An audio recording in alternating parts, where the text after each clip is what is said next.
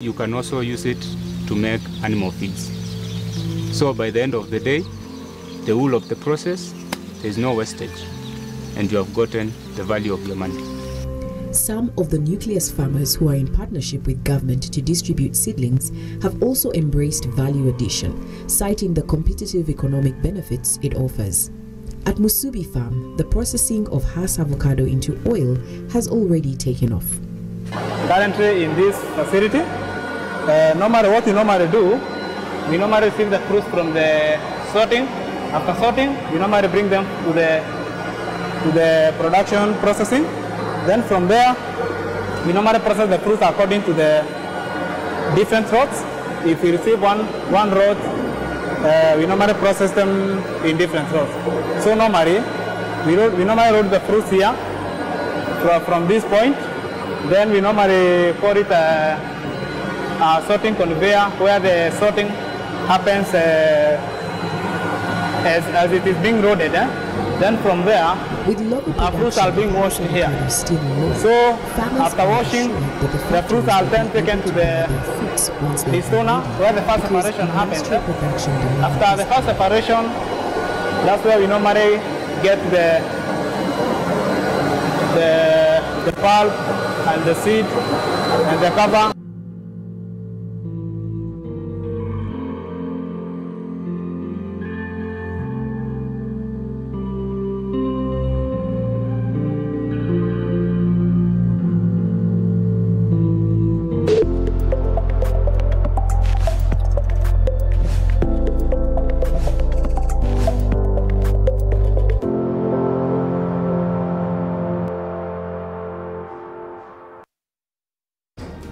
Thank you so much for keeping it NBS Live at 9. You've been a fantastic audience. You can keep abreast with all our products here on Next Media Services. There's something for everyone. Absolutely. Here on NBS Television, let's have a conversation about Uganda aviation. And Mildred Haise is on standby to give us that conversation and dig deeper. Mildred, what do you have for us tonight?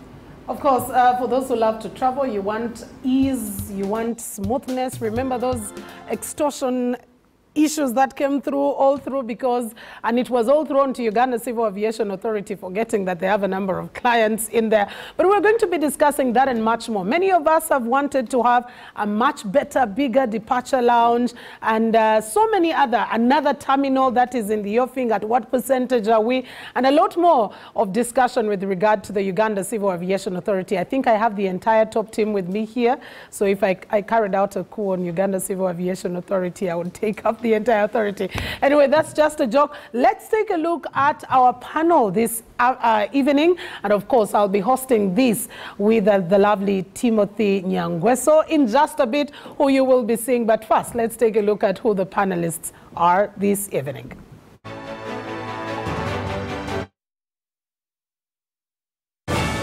Vianney Mpungu is the Manager, Public Affairs and Spokesman of Uganda Civil Aviation Authority. He is a member of the UCAA management team and has over 20 years experience in the aviation industry. A graduate of Mass Communication from Makerere University, Luggya holds a Masters of Arts in Journalism and Communication from the same university and an MBA from Uganda Martyrs University. He has over the years acquired competencies in the civil aviation management from Singapore Aviation Academy and skills in airport customer service quality management from Incheon International Airport, among others. Prior to joining the aviation industry, he worked with MCL, McCann, a PR and advertising agency, and Uganda Telecom. He has also served as a member of the Board of Africa Chess Confederation and president of the Africa Zone 4.2. Luggya has been at the helm of handling various stakeholder engagements, crisis management, and handling of local and international events in Uganda's aviation industry. In 2019, he was recognized by the International Civil Aviation Organization through the East African and South Africa office with an Aviation Pioneer Award in recognition of the promotion of the global aviation's bodies, Platinum Jubilee.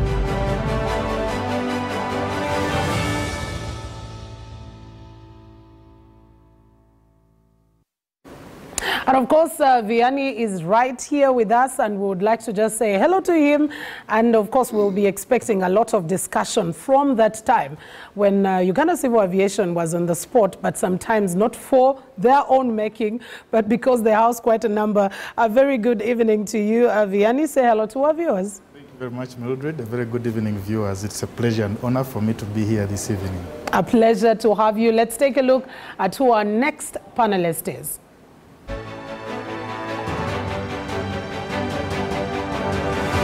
Mr. Richard Rujungu Ruhesi, Director, Aerial Navigation Services, Uganda Civil Aviation Authority. He is in charge of the directorate responsible for providing the services that ensure safe and efficient operations of aircraft in the Uganda airspace. He is a certified aviation engineer with vast experience in design, development and maintenance of aeronautical systems and management of aviation safety operations. He has served in various leadership positions in aerial navigation, supervising a team of highly skilled aviation professionals consisting of air traffic controllers, aeronautical information management officers, and aviation safety engineers. He holds a Master's of Science in Information Systems Engineering and a Bachelor of Engineering in Electrical and Electronic Engineering with a rich working background in software development, aeronautical systems, airborne defensive aids, civil and military radar, embedded electronics, data communication and satellite-based applications. As a specialist in communication navigation and surveillance, he is involved at national level in multiple sectoral engineering projects such as airports, surveillance systems, satellite-based technologies and the outer space policy. At the regional and international level, he is a member of several high technical working committees of ESC, COMESA, and Council. He is a member of the Aeronautical Frequency Spectrum Panel of ICAO and a leader in the subgroup of CNS, ATM Africa Indian Ocean Planning and Implementation Regional Group, APIRG.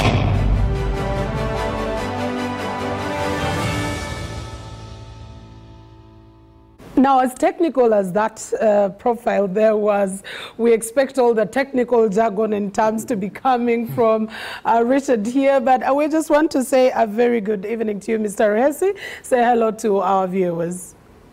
Uh, thank you, thank you, viewers. Uh, Yes. thank you, Mildred. Uh, I, I hope we will simplify the jargon and technical language. We'll try as much as possible without distorting the. I love that without distorting it. Let's take a look at who our next panelist is.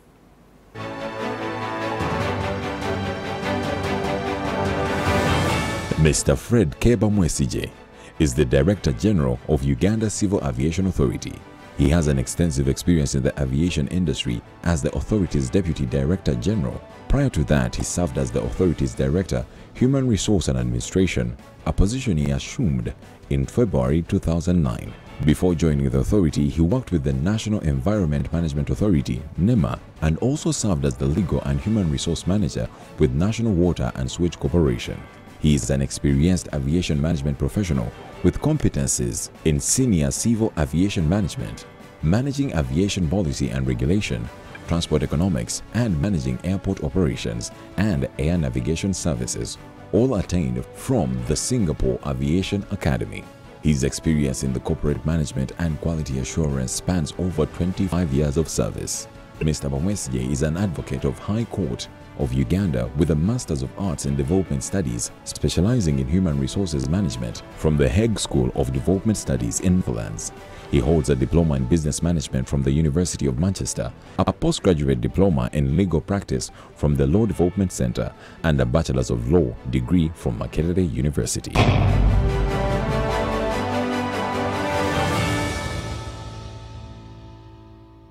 Understand uh, some of us could be getting a little bit confused. An advocate of the High Court, a lawyer at that, now heading the Uganda Civil Aviation Authority. That's how dynamic uh, our next panelist is. And uh, Mr. Bamwesigye, just say hello to our viewers.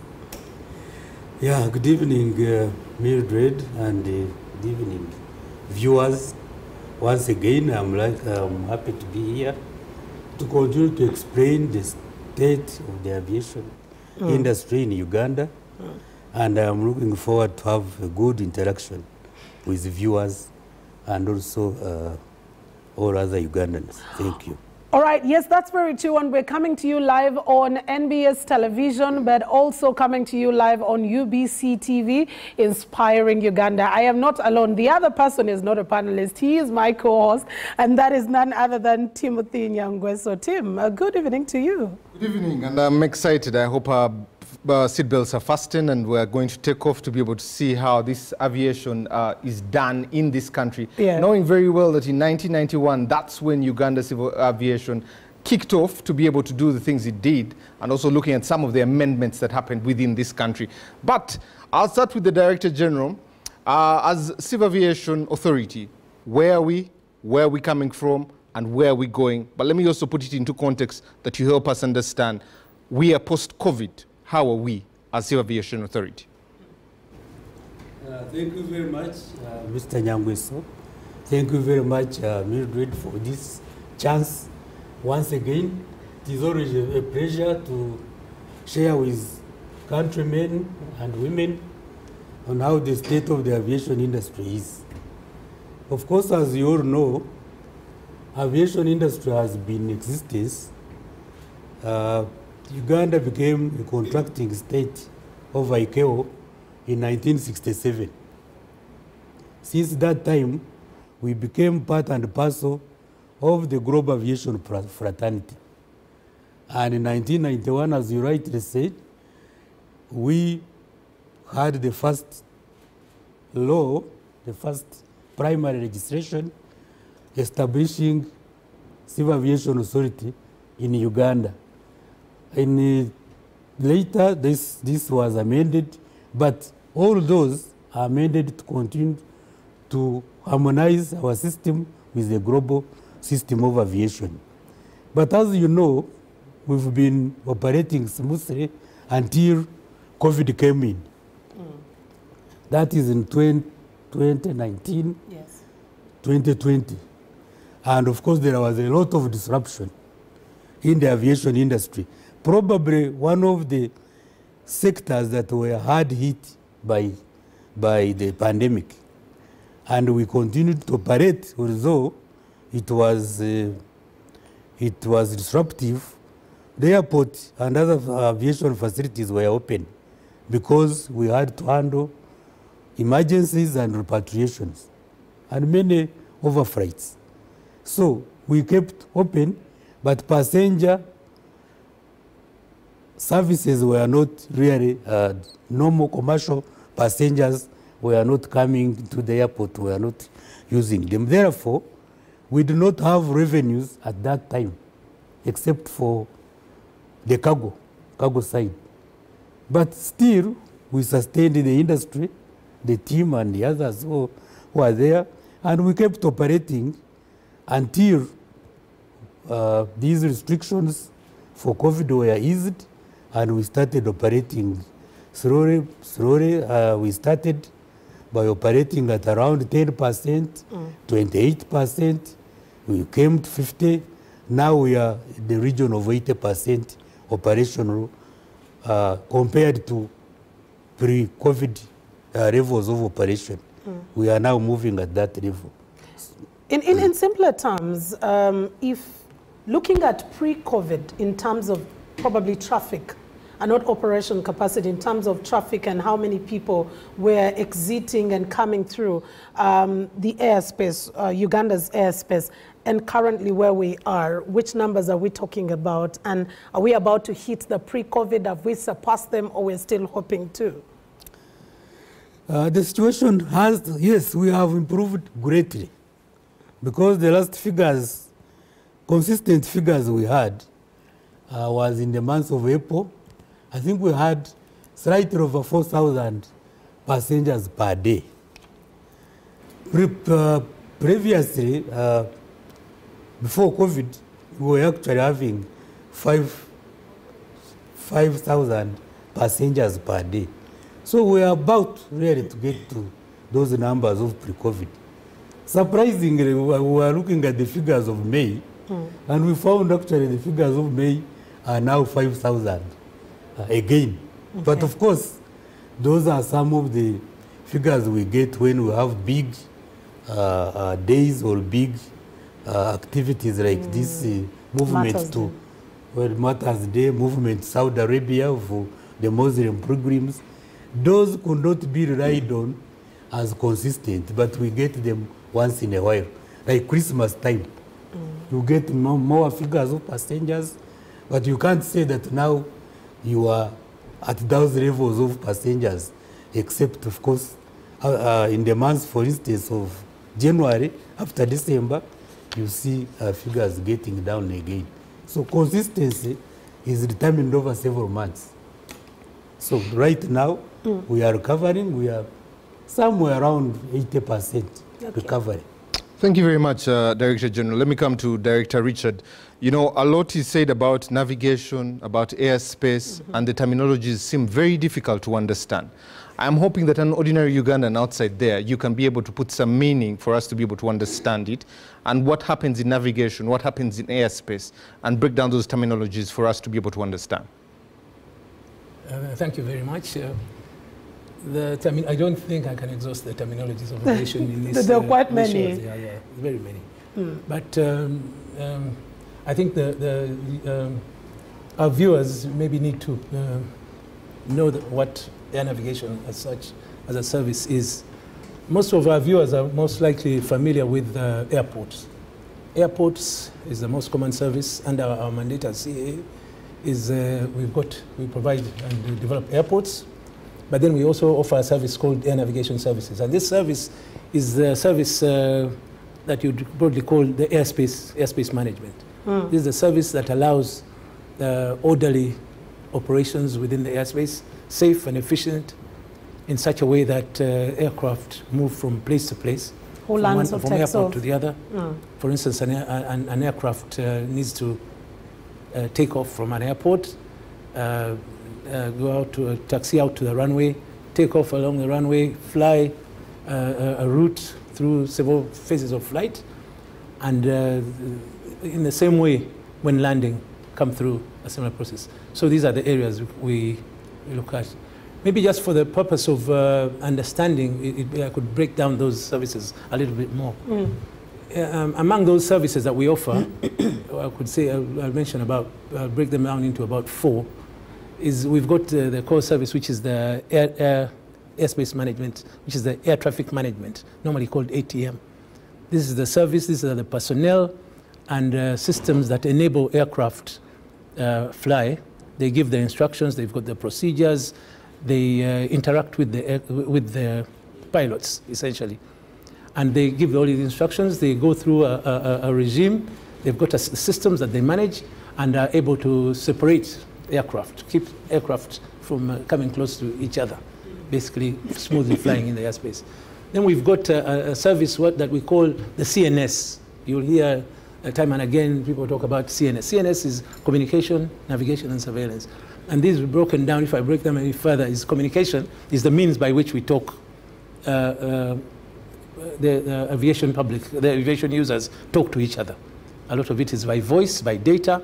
That's communication. And there's all sorts of means of providing that. Then there's uh, the service called navigation. Navigation, in, in, in, in aviation terms, is the ability to know where you are. For an, for an aircraft flying out there would need to know where they are in the airspace of the world. So navigation is that method by which, and this is also supported by instruments and other there's also surveillance. Those uh, the common thing about surveillance is, for instance, radar is where, where some, uh, the ability for you, who is uh, on the ground, know, to know where the aircraft is in the air. That is what we call surveillance. Mm. And this is provided by common service like radar. But then in order to put all these together, we've also got a service called Aeronautical Information Management. This is a service that provides information to the in- entire industry. This information is collected from all sources. It's uh, uh, um, distributed in a very systematic way, in a standardized way worldwide, and it is uh, provided by service. An example of this service would be a briefing office. For instance, before an aircraft takes off, there's certain information they must get. Mm, And uh, okay, I won't go through all those, but the, among the uh, key information elements that they get, the, other than the routes and the destinations and whatever, is the weather. So we also coordinate a, a, a service called uh, aeronautical meteorology. Meteorology. This is commonly known as MET. We'll also hear them refer to it as MET. But this is the information required about weather. Weather. Weather, is a very uh, important phenomenon in flight. It supports landing, takeoff, and uh, uh, is uh, quite uh, critical. We also provide. Sorry, l- let me stay with you. And you have given us these four services. Yes. But let me ask a basic question. Uh, MH370, the Malaysian flight that disappeared, also are there black spots that you can be not be able to navigate this plane and know that you know i- within this space the plane will disappear? And what are you doing about such technology? You can give us a background of how the MH370 disappeared, but also tell us if there are black spots where planes you have no navigation of them.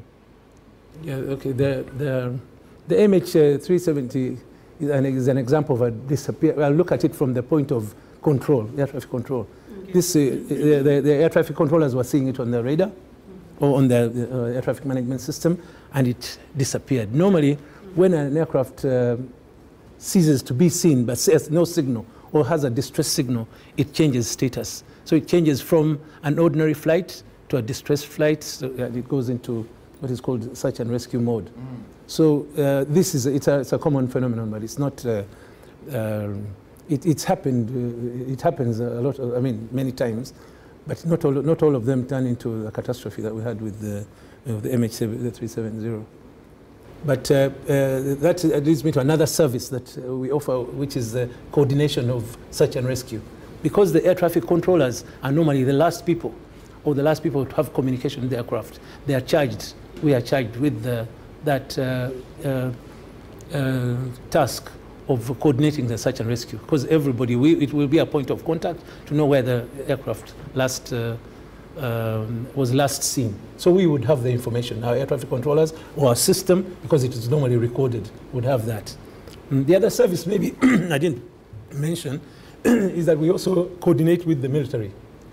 Uh, the nature of the airspace uh, in Uganda and many states is, uh, is, is the joint owned uh, air, uh, airspace. So the Mm. airspace For security reasons yeah, well. the airspace is owned normally by, by the state and operated by the civil aviation Yeah. or the air, air navigation service provider like ourselves. So we are charged also with that civil military coordination to ensure smooth operation amongst us Okay. and services. Mm. And on the whole, okay, the, the definition of the airspace, of airspace per se, is uh, it's got boundaries. It's got the boundaries, and in our case, it is the boundary of uh, the territorial boundary. Ours is shaped in the form of our territorial boundary as Uganda, those who are familiar with it. And then in the, the uh, going upwards, it is up to 100 kilometers. And that is what is called airspace. That's what we manage. uh, such. That's interesting. Vianney, I want to come to you. Earlier on, the DG talked about traffic in terms of uh, passengers. And it's good news that we're literally almost coming back to the pre-COVID numbers. But there is cargo traffic, which is also a very important aspect because we are not only using airport, um, air the airspace to transfer passengers, move from one place to another, but it's also another means of transport in terms of cargo. We're talking about export promotion here. The perishables and all that perishables depend on is the quickest and safest means of transport, which is air transport itself. How are we faring with cargo traffic, but also transportation, the ease? Because we've seen so many exporters talking about delays in the flights and most of their perishables going bad. Uh, thank you very much, Mildred. In terms of cargo traffic, you can say if we compare to 1991, when Uganda Civil Aviation Authority had just been established, Mm. Entebbe International Airport handled 6,600 metric tons of cargo. When you compare that to 2022, we handled 61,000 metric tons of cargo. The numbers were a little higher prior to COVID, 2019. It was 64,000 metric tons of cargo. It slightly reduced in 2020 to 59,000 metric tons, but cargo did not reduce as much as passenger traffic, partly because of what he alluded to, the fact that cargo operations were sustained even during the COVID times. In fact, during that time, uh, airlines tried a lot of innovation. Because cargo operations were permitted, there were air operators that reconfigured passenger aircraft to be used to carry cargo. And that was one of the survival modes adopted during that time of 2020. But when you look at the bulk of Uganda's cargo, it's mainly exports. Exports are more than imports. And that is good news for Ugandans because it is an opportunity for especially farmers. Because when you look at most of the exports that we handle through Entebbe International Airport, it comprises of fresh produce, including fish, flowers, vegetables, and that kind of thing. So that is an opportunity for Ugandan farmers in that area. But moving back a little bit on the passenger traffic that he actually tackled, uh, just the figures of May that he mentioned that were as high as the ones of uh, pre-COVID, 5,000 passengers per day. The interesting part about May is that uh, we registered 79,000 arrivals and 77,000 departures. So May is the one month where we have registered more arrivals than departing passengers. Most of these months prior to May, we have been registering more departing passengers. So the fact that we have got more arrivals in May is an interesting phenomena, but is partly attributed to the returning pilgrims from Umrah that he actually mentioned during that particular time. Okay, and, and I was also a little bit interesting, away from just May, looking at the statistics of the numbers that we have, uh, departures and arrivals as well. What do these comprise of? Are these just tourists? Is it business related? And, and also, I was, um, I was earlier on uh, talking to um, Mr. Ruhesi and asking, how about our departures? Do we have more of those going uh, to the UAE to, in search for jobs? What is the, when, when you try to break down our departures and arrivals, what does it look like? The bulk of passengers is largely tourists. But the categorization of tourism is what also needs to be looked at in another way.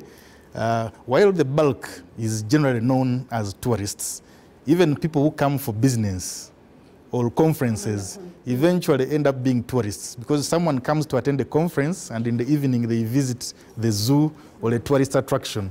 So, but we, we generally say that the bulk is tourists, but we have business people, we have people coming for conferences, and of late, Uganda is hosting a lot of conferences, and that is also helping our traffic. When it comes to departures, the most popular destinations for Ugandans include UAE, Nairobi, China also used to rank quite high. Interestingly, South Africa is also among those top five destinations as well as UK. So those, in terms of people departing Uganda, are major destinations that we have our people going to. Okay, and maybe before Timothy comes in, you talk about departures, and at departure is an aspect of convenience. I want to be able to come through, I want to check in, I want to have a smooth sail and be able to go. And DG, I want to come to you because uh, a few months ago, it wasn't all rosy because what was in, in, the, in the media space, social media, was extortion tendencies, people missing flights, and delays. That went down. Many people get to say Uganda is a, not a blockbuster movie. They, we keep having a series. So something different happens at a different time and the other is shadowed away. How did we conclude on that? And is it seamless now to say? I want to say that, uh, and I have said it before, uh, this, this I have said it before. It has been widely reported that extortions in the airport and uh, they, there are quite a lot of inconveniences uh, because of so many uh, handlers and all that. Yes, partly true. Uh, and as you earlier on said, we have quite a lot of uh, stakeholders within our aviation facilities. And it is not just civil aviation that handles passengers in the airport. You know very well, you have immigration, you have security, you have cargo handlers, have passenger handling agencies, you have airlines, and a combination of all this. Of course, when COVID came, we also had other desks that were not typical aviation, like health desks. You also, because of these uh, workers that are going to Middle East, you also have a labor desk, and so on and so forth. Because of those, there were a multiplicity of desks and uh, operators that uh, for some time we, we coordinated but could not largely left them to do their mandate. But now it turned out that some of them increasingly became an inconvenience. And we totally came out told all Ugandans that we cannot continue like this, uh, apologized where we could, and did uh, put measures mainly to do away with those desks that are not typical of an airport operation, like health desk, like uh, labor desk. Uh, the other one was the vaccination desk, and so on and so forth, and we removed them. We streamlined security totally, streamlined uh, immigration, put restrictions on uh, movements within the airport, and left each uh, stakeholder to do their part. And some of the requirements, like COVID certificates, could not be allowed unless unless they are required by the country of destination. Uh, those that could be checked by airlines, we restricted them to airlines. Things like visas, we left them with, with uh, immigration. So now we streamlined the whole place. We stopped people to walk around with phones if they were not supervisors, and we enforced them. Right I now, want to take a selfie. It's time to travel, and I'm very excited. Yes, selfie because you're a passenger, you can take a selfie. We don't we don't stop stop that, except if you go in restricted areas. And restricted areas are not really for only Entebbe International Airport. Every place, even by the way, not in the airport, even in this building, I am sure, there are places where I'm not allowed to go and start taking pictures. Mm. So that is a feature of every establishment that we do, we do. But for passengers, there are those passenger areas that they are required. They do that almost every other day. Take pictures, feel happy, do all sorts of things, and go. But we, of course, we can't allow you to take pictures in security restricted areas. But for the workers there who are not supervisors, because of uh, those malpractices, we restricted their phones, phones to only supervisors. And we shall observe that until we continue to see progress. Until then, maybe we could think about uh, relie- uh, relieving the, the, those restrictions, trying to, to, to, to go through on them. But for now, that's what has happened, and it is a very, very seamless experience as of now. The other matter that is still not, uh, of course, you know very well, in the whole airport we are constructing, we are modifying, we are doing all sorts of things. And we, once again, want to thank airport users for the patience they have had with us because we want to modernize these facilities and be modernized the level at how an airport should be. You can see we are working on the departures. We have got a twin road system that will take us up to the departure, and we have even a canopy now. We are constructing a canopy where people will come and be able to enter into an airport without uh, being, uh, if, if say if it is raining, they will have to move towards the airport without uh, any any problem of rain. And when they are coming back, same thing uh, downstairs. But before we complete that, there is still an inconvenience of reaching the airport departure area is still a little bit of a problem. But we are really moving very fast, and soon we shall complete and allow our passengers to reach How soon is the soon? We thought actually by now we should have completed, and it is being done by our partners, the UPDF uh, Engineering Engineers Brigade. But I think in the importation of of of of, uh, finishing uh, uh, tiles and other things, we are not. They they delayed a little bit, so we we shall wait for another two months. Uh, maybe uh, we should be able to complete by end of August. And this was not our making. I keep uh, telling inside there.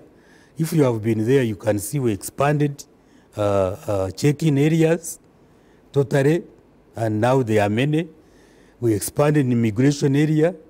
We went into inside in the in the waiting lo- lounges and made them open, an open lounge system, and expanded the duty-free area. Really, when you enter, you find that we have done quite a lot of things, and we are continuing to do many things. Uh, probably I will have a chance to explain more as time goes on. Okay. Yes. Director General, but uh, Director Richard, let me come to you. One of the things that every ordinary Ugandan that goes through Entebbe is the hectic movement from departure to actually leaving. September 2022, you had commissioned automation in there. $9.5 million by the Korean International Cooperation Agency. What does this mean and why are we not feeling this happening within the airport? Um, uh, thank you very much. Uh, I think the, the project that you're referring to is uh, a project uh, of modernization of Interna International Airport that was uh, supported by our partners from the Republic of South Korea. This, as you say, indeed, it was a $9.5 million project.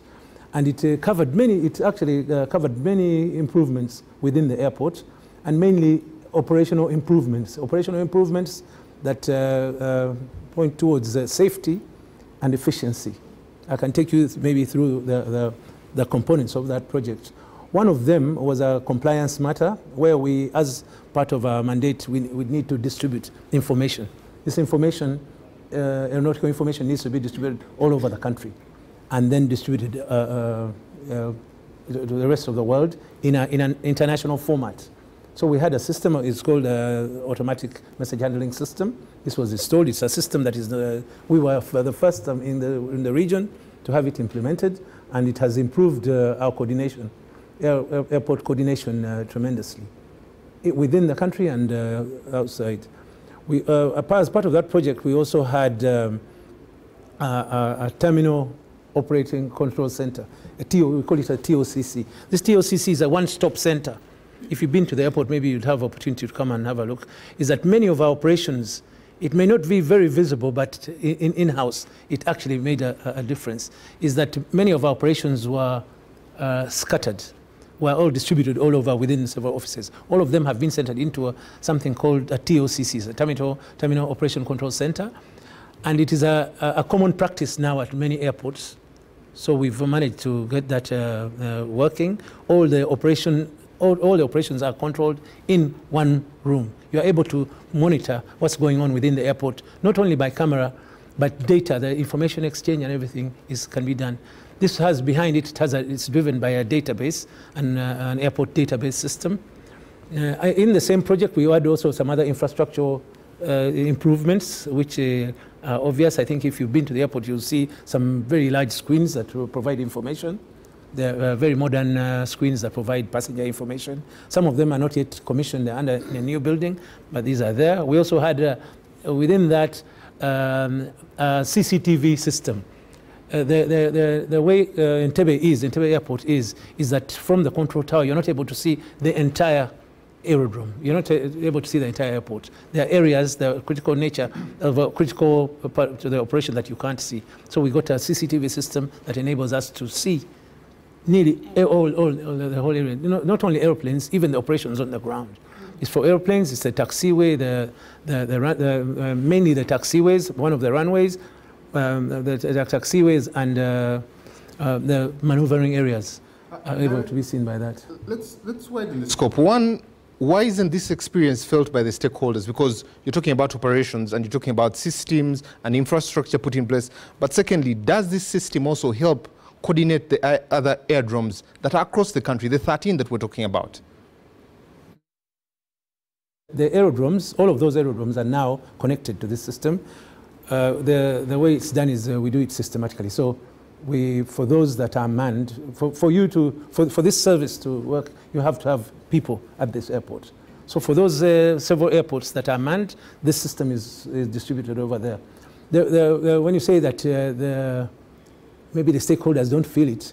They do. They, they, they, it is, it is, there's a smooth operation that uh, is felt. A lot of data, collection of data is much, much easier than it was uh, four years ago when we started this project. A lot of the, what was paper data, a lot of it has been digitized, and it is, you're able in one place to get a lot, all the information that you need. So the, the airport operators, this is mainly, this was to assist the airport stakeholders Uh, of course, uh, if the airport stakeholders are uh, feeling it, then the passengers get it indirectly. But this information is essentially assisting the operation of the, the airport. When I'm in Soroti, Yeah. I can be able to get the information that is in Entebbe. When you're, um, If I have flown from Entebbe to Soroti or Entebbe to Mbara, whichever of these aerodromes I have gone to, can I be able to get the same information that is relayed in Entebbe in Soroti? Yes, the, the system is linked, but uh, the way the air operations work is that you only take the information that you need.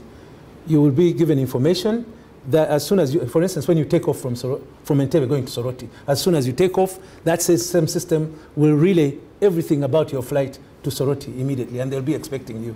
The same would happen if, uh, uh, in Arua you, uh, you, you, you file a flight plan from Arua, you load all your information in there. That information will automatically, very quickly, instead of being relayed by phone or by radio, it will go uh, by, uh, by digital, digital means to Entebbe, and it will be part of the database.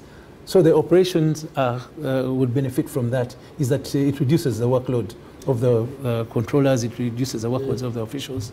yes, Yeah. you wanted one, to one respond. component of that project, uh, which uh, dealt with the capacity building, Mm. training of the staff manning those systems, and very, very, very well, we have actually some of the, the, the, the global experts in the country because of that system. And uh, we are not lacking, we don't have uh, expatriates there. All people manning it, our own staff, and they are Ugandans. Interesting. Yes. Let me, let me come to you. Uh, one of the things that really was interesting with the debacle that happened at the airport with all this social media there, one extortion, then you said people should put on uniforms, they should keep their phones away, and then you had a whole press conference. But what is your public relations strategy, especially to get ahead of such stories and not detriment the reputation of the civil aviation? Thank you very much. We enforce what we call proactive communication, and that is what we prefer by sharing information with the public in advance. But like the saying goes, uh, good news sometimes does not spread as much as the bad news. So while we keep sharing the good news as and when it happens, as well as the developments that are being shared, for instance, here, when it comes to massive saturation of information, when bad news happens, it tends to spread wider than the good news. And that is why sometimes you have seen the bad news spreading a little more. But nevertheless, while we do the proactive engagement, when the bad news does spread, we also engage the public fully by providing the right information, like we did in this particular case, whereby we were able to share the measures that we had put in place as an airport, and the public was able to appreciate and understand the situation that we were going through. And let me stay with you before I hand you over to Mildred. Yes. If you're building a discipline, you don't wait to grow fat to go to the gym. I feel like civil aviation waits to grow fat, then goes to the gym to try this discipline.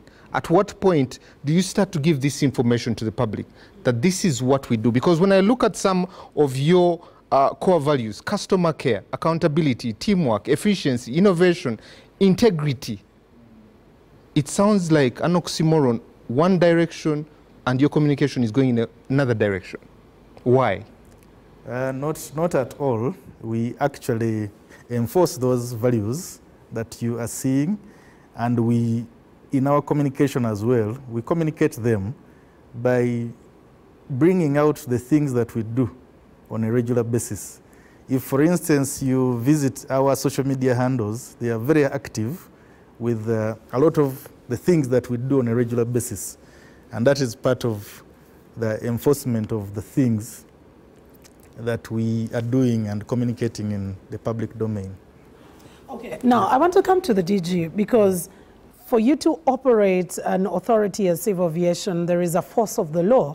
And uh, there's been a recent amendment that was assented to by President Yoweri Museveni. In most cases, we normally see change of name, and that is what is highlighted. So we moved from Civil Aviation to Uganda Civil Aviation Authority. But what do the amendments therein mean for the aviation industry in terms of um, enhancement of safety? Because we've always been told since primary school the safest and quickest means of transport is air transport. And unfortunately, when there is a glitch, it is a disaster. So what do these amendments mean to your work and providing this sort of safety uh, to the passengers? Yes, I, I, said it earlier that uh, this law, the, what we call primary registration, the Uganda Civil Aviation Authority Act, came into existence in 1991. Over the years, of course, that mother law is part and parcel of, of the operationalization of what we call the Chicago Convention. Because aviation is global, as you know. Chicago Convention is a, global legal instrument that was promulgated and all states, all contracting states, as are implementing it with its annexes. It, it is operated by annexes, now 19 annexes. And they are all operated by different countries by domesticating what is provided in that in that is those legal instruments to their own situations in the country. So because of, the, of a long time, there were many, many, many promulgations coming out of ICAO, the global regulator, but also changing situations. So we were able to bring them together and put them, amend our, our own Civil Aviation Authority primary registration, the Civil Aviation Authority Act, and update it to include those provisions. And what are they? Other than the, what you are saying, changing the name mm -hmm. from Uganda, from Civil Civil, Aviation Aviation Authority, Authority. to Yeah. Uganda Civil Aviation Authority. Again, that one was, of course, consistent with the practice everywhere. You have Kenya Civil Aviation Authority, Tanzanian Civil Aviation Authority, Rwanda Civil Aviation Authority, even UK. All those, so we harmonized that. And therefore, the what used to be managing director became director general, because that is the nomenclature mm. for aviation. Okay. But beyond that, quite a lot of, of amendments were made to strengthen to strengthen the mandate of safety and security in aviation. For instance, I would say that early on, we are not provided for, say, an accident investigation unit. Even when we ad hoc means were there to put it in place, it was based in Uganda Civil Aviation Authority. Yet, that accident investigation unit is supposed to be independent and among the, the, the investigation, the, the agencies to be investigated when an accident happens is Uganda Civil Aviation Authority because it is in charge of oversight of the industry. Maybe the accident was caused by lapses in oversight. Mm. And now you can't have it and be the one in charge. So it has to be independent. That was enforced and now it is in place ah. and it is in the Ministry of Works. There were also rule regulations to do with delegation of powers from the ministry to Uganda Civil Aviation Authority. ICAO or the, the system of ICAO believes that these safety provisions can be enforced very close to the area of operations.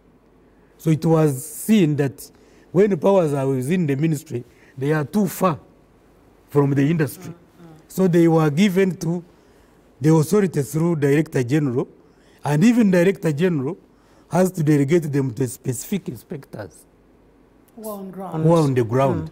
So that actions take safety actions, force safety enforcement actions take place immediately, including surveillance, spot on surveillance, or actions that will make you enter, say, an industry or an operator without first giving notices because you can see that there is some safety infringement in that operator.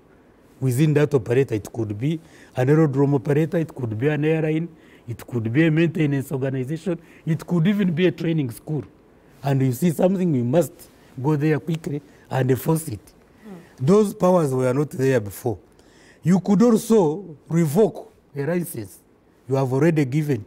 If in your own estimation you think that ever since the license was given, there are now certain infringements on safety of an, uh, say, an operator who could be an owner of an aerodrome, could be an airline, could also be any other, and you see that, yes, I approved them to operate with this license, with these conditions, but I need now to strengthen, to strengthen the conditions okay. for me to keep abreast with now the new safety challenges. All those provisions are there. There are many, there are many. Mm. I, I don't think that this place can allow me talk about them. And even now, we are not saying that we have, we, have, we are done. Every day in aviation, every day comes with its own challenges regarding safety of aviation and even security. So, uh, anytime, once we see a safety critical uh, uh, lacuna that, can, that, that need to be legislated on, we actually come in and quickly include it. And, just actually, before we take a break, Timothy, I want to engage um, Director Ruhesi on the same. On some of the recent developments in the air navigation space that you've taken to ensure security, because when we're talking about safety and security in with air transport, it is as real as it can sound, because in case of anything, it is as, as, as fatal as not being able to get even one single survivor. What are some of these developments that you've adopted, and how are they going to help enhance safety and security in service provision? Yeah, thank you very much. In terms of service provision, there's many, we've implemented so many. Uh, maybe um, to put it in context, the, the, as the Director General was saying, is the civil aviation system is uh, global. The plans are at a global level. So you, you, you, yeah. you, you, plan, it is planned at a global level, ah. uh, implemented at a regional level. We then have to coordinate with our uh, neighbors uh, in the region then uh, we then uh, have the national implementation. So for all of these, uh, the implementations that have been recommended at the global level, we have implemented. An example I would uh, um, give is uh, we've implemented one of the highest priorities of ICAO, which is called performance-based navigation. And this mm. is the transition. It's a transition from the ground-based systems. These ones I've been talking about. The things that are based on the ground for navigation, where the, the, the aircraft and the specification of the, the, the, the, the flying system is, uh, is now, uh, uh, based on its uh, specification, can now um, utilize the space better. So we get to a better efficiency for the airspace. An example is that we are able, for instance, to fly very smooth and efficient flights into the country. An example is that uh, when you fly into Uganda, anybody flying in our, in our airspace will tell you the, the, the, the, the, main benefit is that you fly uh, what I call direct routes. You can, as soon as you get to the border, you will then fly direct to Entebbe. It's, like flying, uh, going down a slope, very smooth flight. Those who have experienced it know it. Is that uh, uh we've, we, the, in the past you'd, you'd, uh, you'd feel an aircraft going down. You'd go in steps. If you fly within our airspace, we've modernized our airspace such that uh, you, you, just come straight in. Mm. We've also um, uh, implemented some parallel routing. All of these uh, add the efficiency of flight and uh, reduce uh, fuel burn. All the, these measures reduce fuel burn, they uh, reduce noise, uh, they're more efficient, they're quiet, they are cost effective and efficient and arrive on time. So all those benefits are really some of the benefits that are the, the industrial, the air users are getting from some of these implementation. We've done so many other things, but that is a, one of the core, uh, one of the key um, priorities of ICAO that okay. we've uh, implemented. Uh, I, I, love that in the conversation, Timothy. Uh, the, the discussion is there is a lot more. There is a lot that we're doing. I think we need to hear much more. Either we're not we're not scooping it enough, or we're not just getting to know. But well, we need to be taking a very short commercial break. When you do return, myself and Timothy will be continuing with this particular conversation. But if you're joining us online, and in case you have any question, hashtag Spotlight UG. We are live on NBS Television and live on UBC TV. Let's get back in a bit.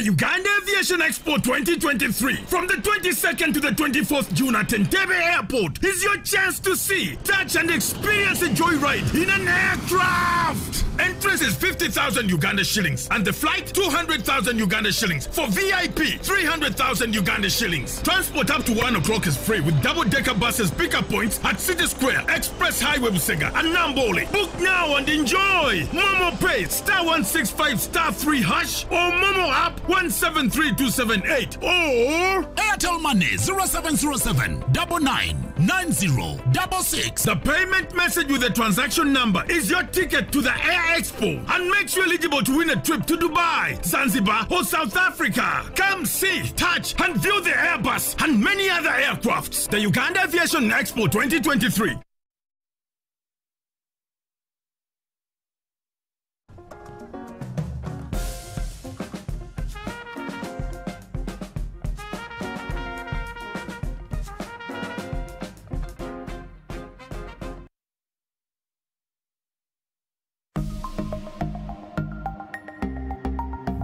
Better steady. Be better.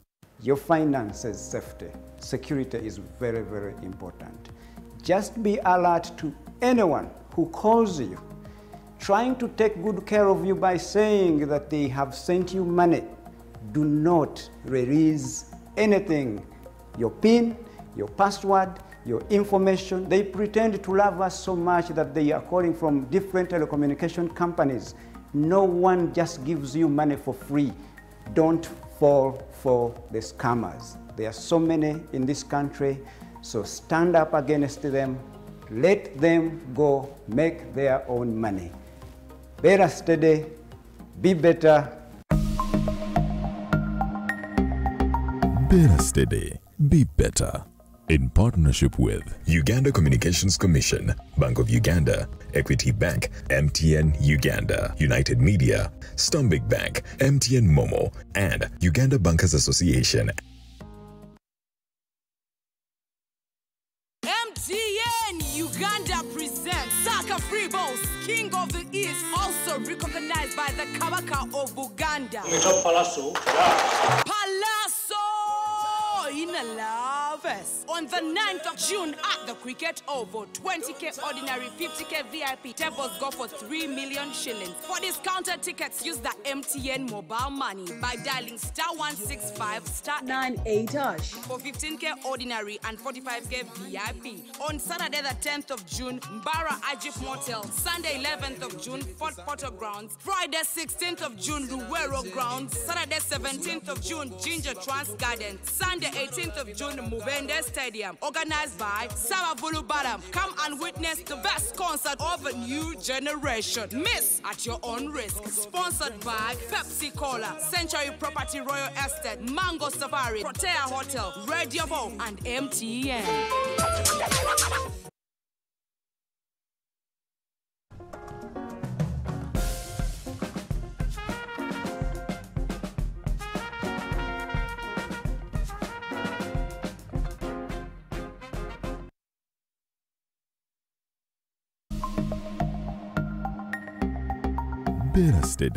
Be better.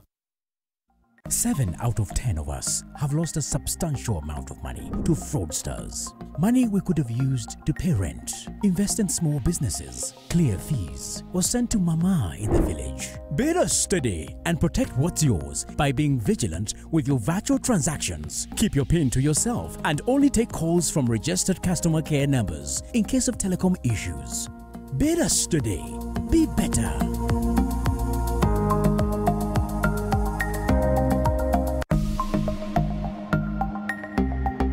Better steady. Be better.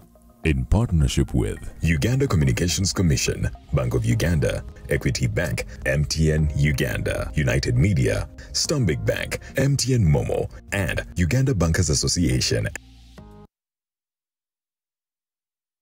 Feel like a little Waikibenda? Noaji on Tare? Then open your Afro mobile app, go to options section, select radio, find the station that best suits your current mood, click on it and enjoy live without missing a beat. Take a piece of home with you anywhere and anytime. Afro Mobile. The future is now.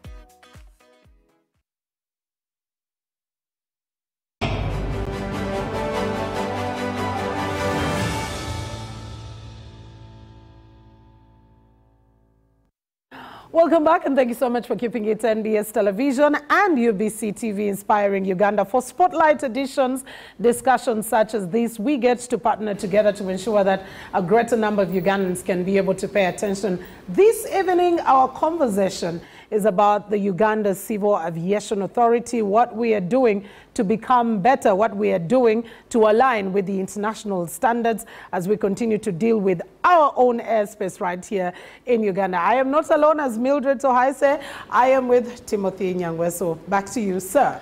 And I'm, I'm very grateful that uh, we be able to discuss these things, especially if you're getting to travel in and out of the country, the region or abroad your safety is paramount and efficiency both at the airport and the aerodromes is very important for all of us there. But let's jump into this conversation. And uh, I think I'd like to start with the Director Richard, especially we're here chatting about technology and looking at uh, there's all this cybercrime, there's all this artificial intelligence, uh, concerns about, you know, can the flight and the navigation go off? How safe are we, especially with technology as a country, uh, how safe are we for me to be able to move in country and out of the country? Can't I intercept and somehow disorganize mm. the systems a little bit? As an IT expert. Well, it is, uh, all those are, have possibilities, but we try as much as possible to uh, eliminate them if we can, or at least reduce them to absolute minimum. Because mm. in our operations, the um, paramount uh, concern is safety. All of these technologies you've been talking about are interesting technologies, from the business perspective uh, elsewhere, they, these, these look like uh, enabling technologies. They're actually very interesting for business, for others. But in aviation, uh, some of these we regard as disruptive technologies. They change uh, the environment so quickly that they may uh, uh, cause a, a, safety issue. So we are very, very strict and very cautious when adopting technologies. A lot of the technologies uh, the transition from one technology to another in aviation, you'll notice, is, uh, takes some time. It is very advanced, but it is very, very, very slow in adapting to new technology. And, and all that is because of the need to be cautious when taking on technologies. Mm. Mm, but many of the technologies we have, uh, through a very elaborate process, through a rigorous uh, testing and rigorous assessment, safety assessment, we've managed to, to take on some of these new technologies especially the transition that we've been talking about from, uh, um, from conventional system to satellite-based systems. We've moved uh, to mainly a paper-driven uh, system in the past and some uh, uh, analog systems to digital database systems. All of those have a, a very strong cybersecurity behind them. And, and, and, and, you talk about satellite. Uh, it also concerns because then we're exposed to the rest of the world. But how safe are we on a scale of 1 to 10? How safe are we as a country technology-wise and also being tracked or being hacked and all these things? Because there's the dark web for people to be able to get open source technology and be able to hack things like that. Cybercrime all these things people stealing identity. Can't things like that be mimicked and someone be able to either divert a flight or be able to move it in a certain direction give it different instructions? Are these possible and how safe are we a scale of 1 Thank to 10. very much. Okay, from a scale of 1 to 10. In aviation, we, we measure ourselves uh, uh, from, um, uh, uh I mean, it's not 1 to 10 if I looked at it in terms of percentage. Mm. There's a requirement. We must meet the requirement. Normally, our ah. requirements on safety and security a minimum is, standard is 99.7, 99.9. Mm. So we ensure that our systems are that safe. Okay. You can, we do not compromise on that. We, even for also systems, a system, say, we could accept that one system could be, say, disturbed, but we always have a backup. Okay. we have a backup. We do, in the worst case, go back to the original method. Hmm. So the, the, all the systems are covered in terms of safety and security. Okay. We always we have what is called redundancy. Mm. All systems are designed in such a way that they are redundant systems. They have safety redundancy, security redundancy, and continuity. All that is built in within the system, and that's why our professionals are really uh, indoctrinated into this safety culture. Okay. Everything that we do is uh, really geared towards safety, safety of us, health and safety of I love that you're not just talking about training, but indoctrination into a Mm. safety It's a culture. very serious- it's a very while serious Timothy was asking, that reminded me of the Kenyan gentleman who worked into the government system, created a new constituency, and he received a salary, but we don't expect that in civil aviation. no, it's not something that is there. We, we would never expect something like that. Mr. Luggya, let me come to you. The aviation industry is one which takes huge amounts of money to be able to deal and run and control and maintain, but also quite one that takes forever. For example, when we look at looking just at the background and we're looking at that beautiful Airbus, Ugandan Airbus right there, and many people are thinking the, the question that always came was when will we break even? Because it's a very expensive venture. But at that comes the discussion of how do we attract more in terms of cargo to be coming through, uh, coming in and out, but also passengers. So are there any sort of measure, uh, measures that Uganda Civil Aviation Authority is looking at to attract more and more passengers into our airspace that will get to a time and think Entebbe International Airport is too small for the kind of traffic that we are having? Yes, we have quite a number of those. Government, through UCAA, operates a liberalized air transport system. That means free entry and exit of air operators. But that enables us to attract as many operators as possible because there is no limitation Mm. on those that are joining our airspace. And in that regard, we have embarked on a campaign to ensure that we sign as many bilateral air service agreements as possible with other countries. As I speak now, Uganda has a total of 51 bilateral air service agreements with other countries. The most recent that we have signed include that with Finland, Colombia, and Nigeria. The Nigerian one in- included a review of the routing. So that enables us to ensure that uh, we enhance connectivity. But when you look at the air operators that have, for instance, recently joined our airspace, as part of that effort, you recall that uh, Airlink joined Ugandan airspace as to fill the gap when South African Airways ex- exited. Mm. Not only Airlink, we have uh, the Dubai route that uh, is very busy. We attracted Air Arabia, which now flies to Sharjah in UAE. Previously, we had Emirates Fly Dubai, which were flying mainly from Entebbe to Dubai. So when Air Arabia came on board, they are now flying to another town in UAE, which is Sharjah. Besides Air Arabia, w- the coming on board of the national airline and commencing flights to still destinations in Dubai, South Africa, and many others in the region is all part of that effort of ensuring that we attract as many more passengers and cargo as possible. Because even the national airline now is handling a sizable amount of cargo because the Airbus has quite some tons that it can carry, and that is helping in that regard. Hmm. Okay, now, uh, while you were even speaking about that, it took me back to a number of series of conversations of misinformation, of you having to deal with the public. And, and there was this whole, um, you know, scathing headline that came through uh, Uganda, uh, Uganda um, Entebbe International Airport mortgaged. And then came in the discussion of the H-U-E-N, which sounds Chinese as Huen or something like that. I want you to clear the air for that for the people who are watching because many said, oh yes, it's sold. Now you see when you type UN, what you see is the Entebbe International Airport. But also, what are some of those discussions and um, areas, scenarios that you've had to deal with regarding misinformation and a lot of misunderstood Mm. concepts that you've also picked a lesson from that the public also needs to understand? Uh, thank you very much, Mildred. The HUEN that you have picked on is an interesting one. But before I You delve, sold our airport. Before Is I delve eh, into, into it, let me start with that background of that story. Yes. It was uh, a front page headline in one of the dailies that Entebbe Airport given away for cash. Unfortunately, that story then, I think it was 2021, the headline was totally divorced from the content of the story. The details there. Yes, yes, indeed it was. And of course, we went ahead to, pro- to clarify these issues at all levels.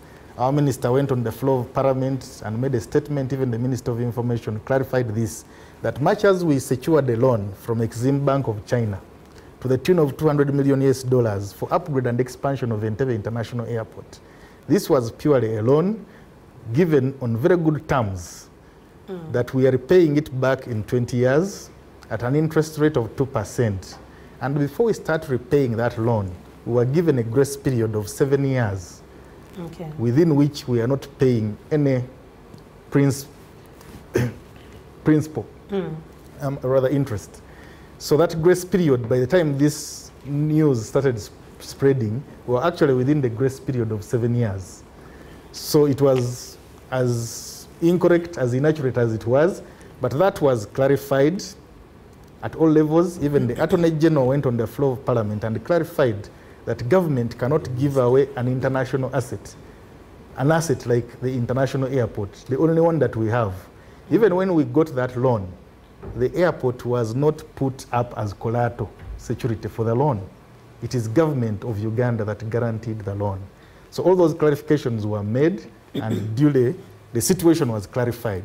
So while it has had been clarified, one of our colleagues in the journalism profession went on uh, Twitter and posted what you're talking about. He wrote that go to Google and type H-U-E-N and see what comes up. Indeed, when you go to Google and type H-U-E-N, Yes, because that is the International Civil Aviation Organization code for Entebbe International Airport. So when you type H-U-E-N, it brings Entebbe International Airport. Now, the timing of that post was unfortunately extremely unfortunate because we had just cleared the news of the allegation of the sale of the airport, which was incorrect. Now, someone mentions H-U-E-N, which was sounding Chinese, like you have rightly stated. Yuan, so to most Ugandans, was seeing it as Huan, Mm. and actually now connecting to the previous story and Sell. saying, indeed, this airport has been sold.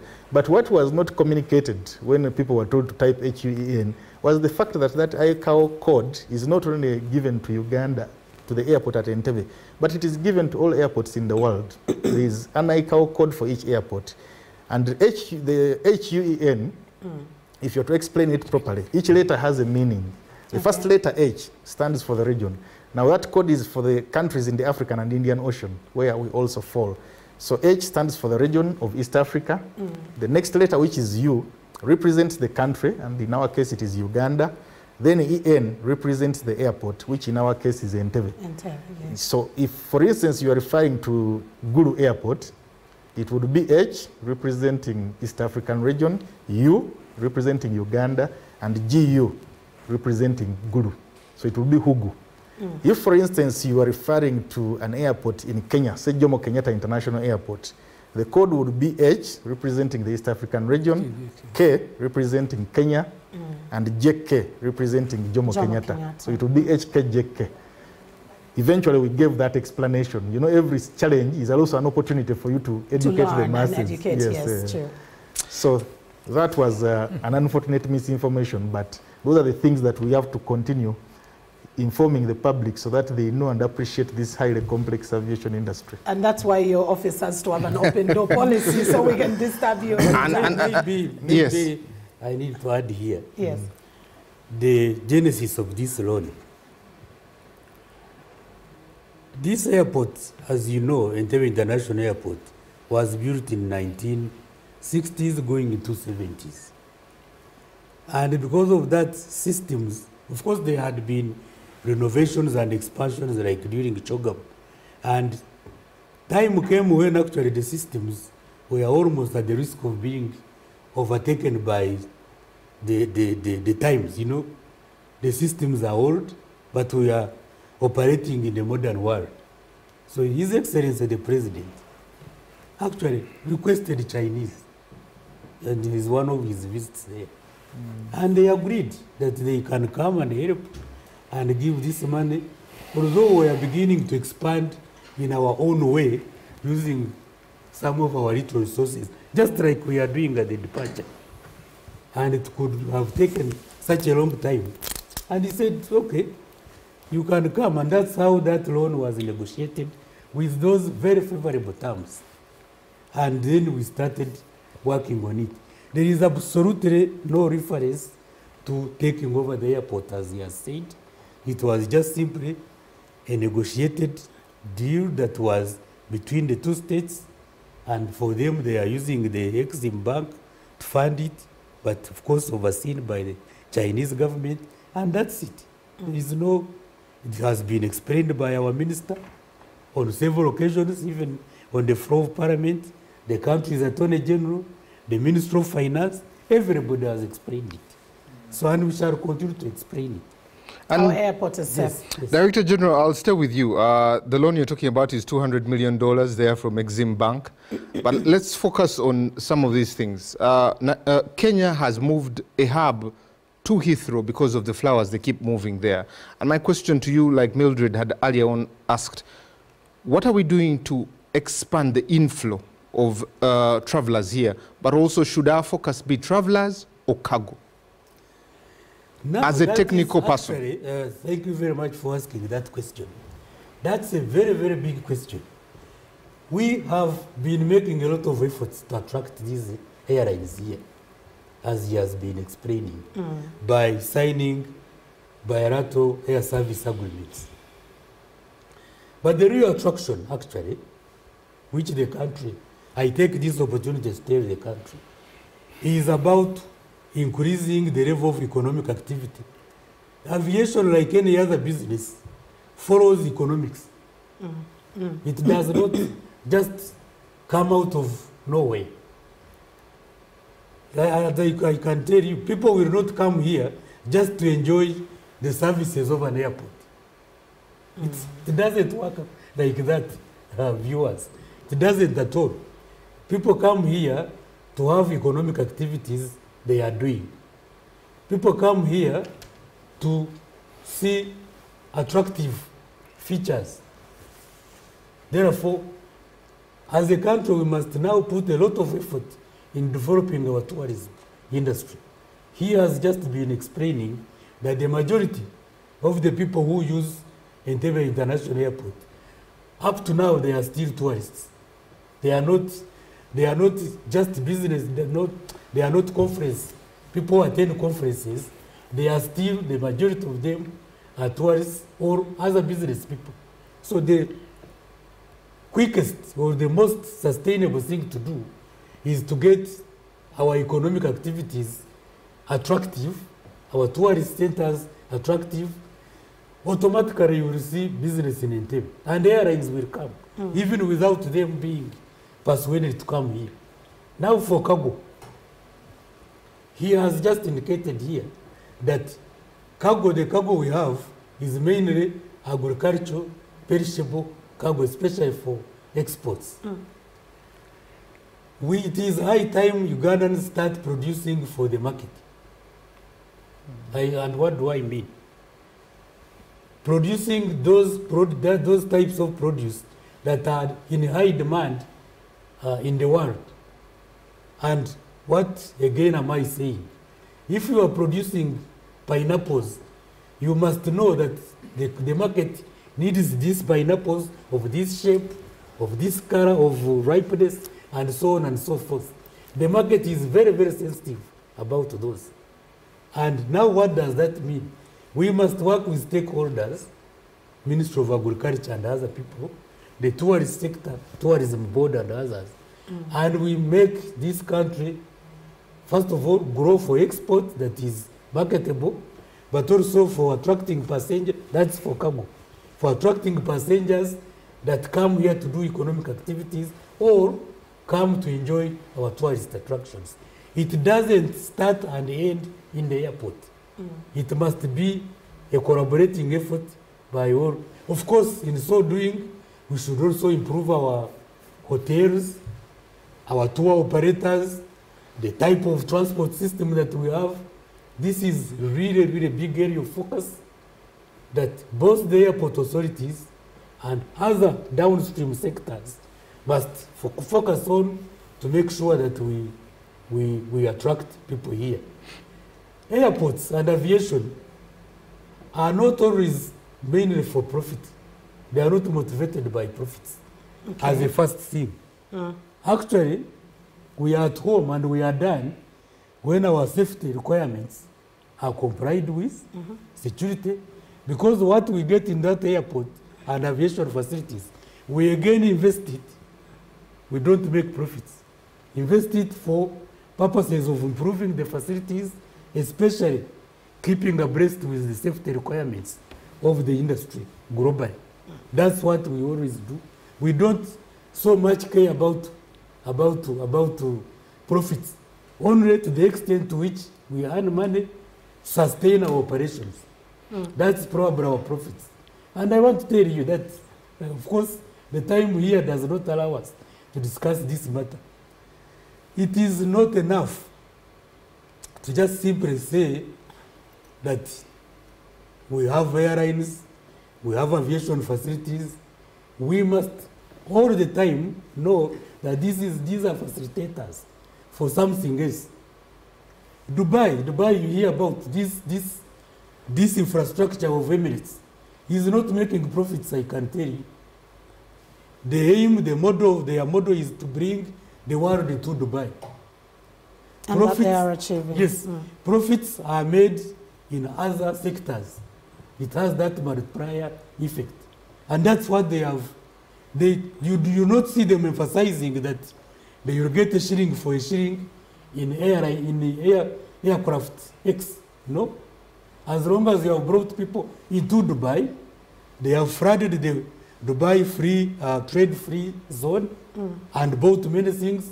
That is how they benefit. Actually, Director. And that is the model. You, you actually mentioned that for you, the safety, the security is, is paramount above any Very. other thing as you do. And um, I'm, I'm privy to information that Uganda is set to undergo some audits by ICAO, the International uh, Civil Aviation Organization. When are they scheduled? How ready? Lest we will have some misinformation coming through at some point in time. Are we ready for these? No, no actually, uh, talking of safety and security, as a contracting state, we are monitored and audited by the Global uh, Aviation Agency called ICAO, just to make sure that we are keeping within compliance levels of the industry. And for, because of that, we have an audit for safety in September, uh, September this year, just a few months away. Mm. And we are preparing for that mm. to be able to. And what are they testing? They are testing our capacity to, of, to, to, to oversee the industry, Okay. to, to, to, to ensure compliance. The industry is complying with aviation standards and recommended practice as promulgated all the time by ICAO.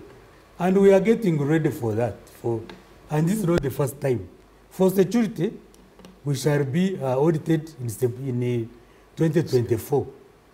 Uh, and there are previous, of course, previous scores that we have got, which we don't want really to relax about okay. and continue to get. You can blow the trumpet quite, quite a bit. Okay, well, we, for instance, we got 81 0.1%. That would be a D2, I think. In 2017, in school terms, yes. For security. Yeah. We have no intention whatsoever of relaxing on that. Okay. And that was, of course, far above the average of that time of 71%. Mm. We think we should now be in the region of 90% mm. when the audit comes. And many, many other areas and parameters. Of course, the industry has expanded and we must now be extremely work hard. Like there was no Uganda airline when the audit came, the other audit, safety audit. Mm.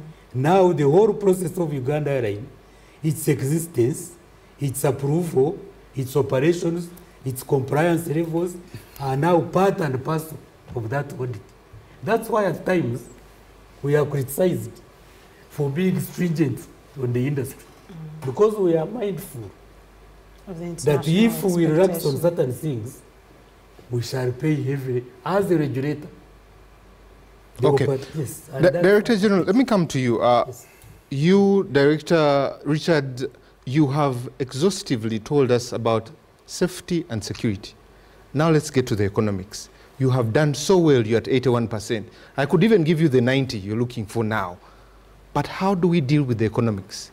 One, how are you doing the interlinkages between you and other agencies? The reason of that whistleblowing, social media, corruption, extortion, how are you doing the linkage in there? Because it is frustrating an ordinary Ugandan to have the experience there. That's one. Two, what is our comparative advantage? And what is the next airport after Entebbe? Because at some point, Entebbe has to get exhausted. So is uh, the, by the way, that extortion, to your knowledge, let me first explain this once again.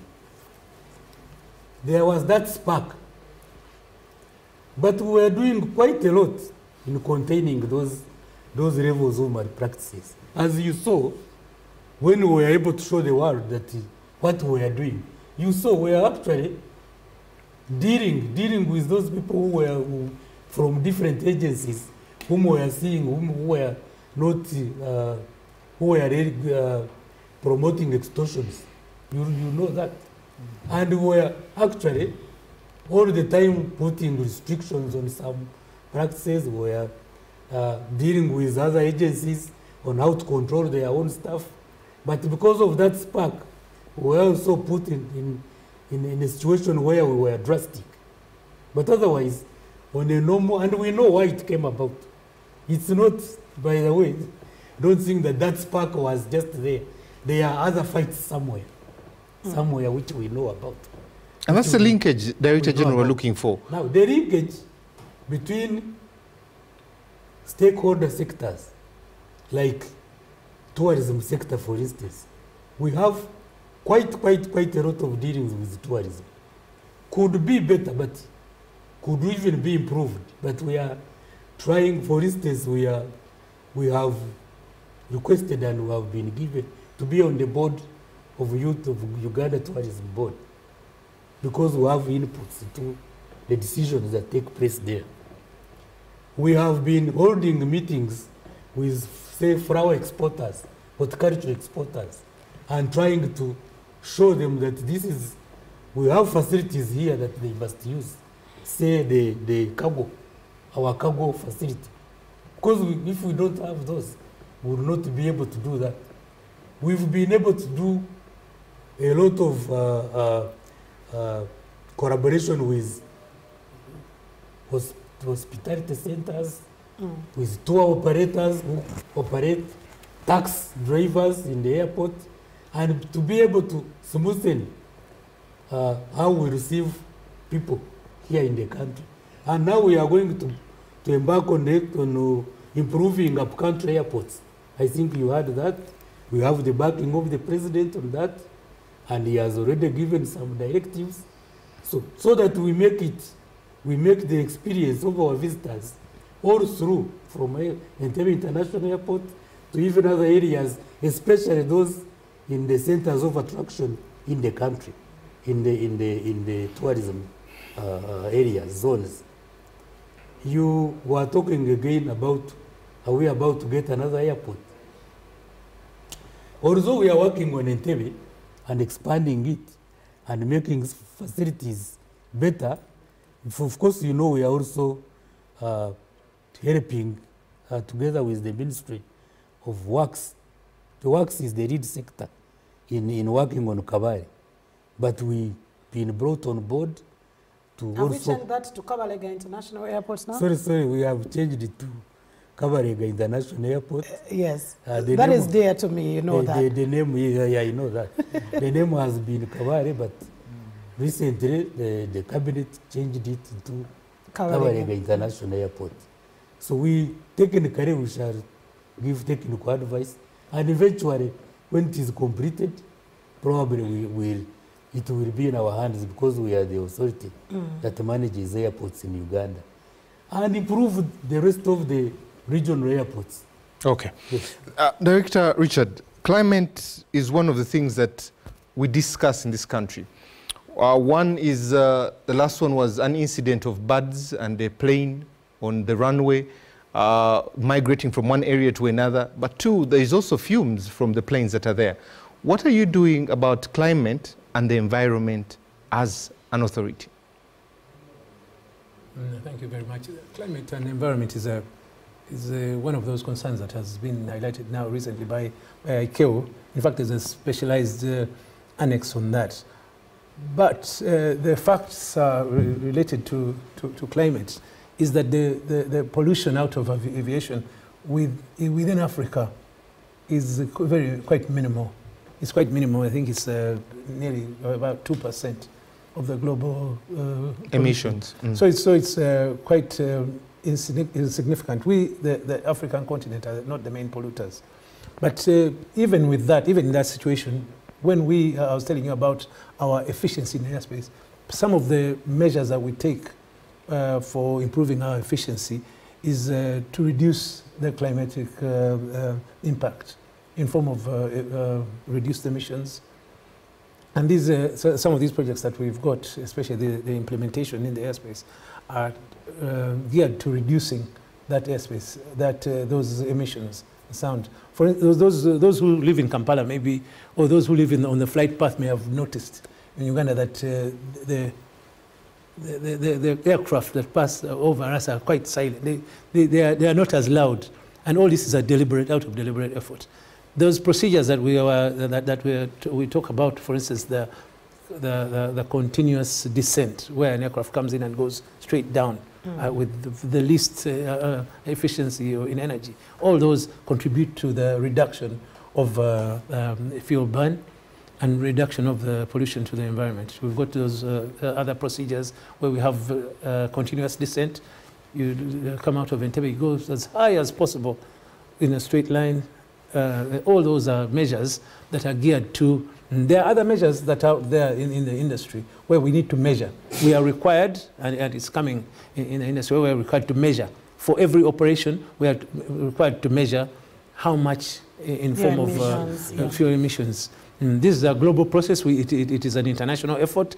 This international effort has its uh, uh, level of development in, in Africa. In Africa, we've got uh, uh, uh, uh, some, some mandate that has been set. Some dates have been set. We have been get, given targets, and we, we are- we are, uh, as the program uh, rolls out, we'll be meeting those targets as required. but Director- we're very concerned about that. Uh, and uh, ju- just one more question before I hand over to Mildred. The black gold, oil and gas, how is aviation positioning itself?